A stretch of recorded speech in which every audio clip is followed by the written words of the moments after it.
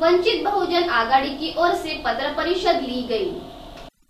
एकात्तर चंद्रपुर विधानसभा के सभी मतदाताओं का आभार मानकर विदर्भ में वंचित बहुजन आघाड़ी की संगठनात्मक बांधनी कर गाँव तिथे शाखा, एक बूथ दस यूथ स्थापित कर जाति धर्म को भूलकर वंचित घटक को शिवराव ते भीमराव बताकर और स्थानिक समस्या के बारे में आंदोलन मोर्चे निवेदन और वंचित के काम करे, नहीं तो कुर्सी छोड़े।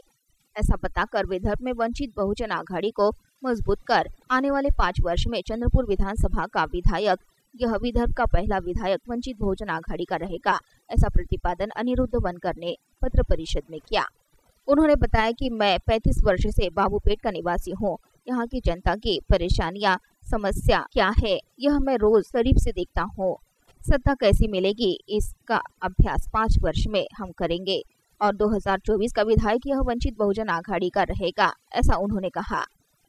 पत्र परिषद में सुभाष चंद्र ढोल ने भारत रंगारी युवराज चुनारकर शिरीष कुमार को गुलबार स्वप्नील चाहंदे मंगेश गेडाम प्रीतम बांबोडे सागर वर्घने नितीन चौधरी राहुल कामरे अशुल भसारकर आदी उपस्थित थे। बहुजन आघाडीच्या आघाडीची सत्ता महाराष्ट्रात येईलच पण वंचित बहुजन आघाडीचं काम करण्यासाठी आम्ही संकल्पना निर्माण आहे. अ, विदर्भातल्या जिल्ह्यांसह चंद्रपूर जिल्ह्याची बांधणी गाव तिथे शाखा वाढ तिथे शाखा कार्यकर्त्यांची पडी महिलांची आघाडी त्यांच्या मेंबरशिपपासून त्यांच्या प्रायमरी कार्यकर कार्यकारी मेंबरशिपपासून आम्ही सगळी बांधणी करून येणाऱ्या दोन हजार चोवीसला मी जरी नसलो तरी परंतु एक आमचा वंचितचा आमदार असेल याच चंद्रपूर विधानसभेचा असं ठामपणे आश्वासन देऊ या ठिकाणी देतो आहे